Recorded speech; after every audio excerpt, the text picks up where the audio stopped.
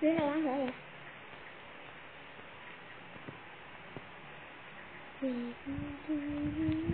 ô rắn nhân lên à mập như heo không bao giờ mập như zombie cắt luôn á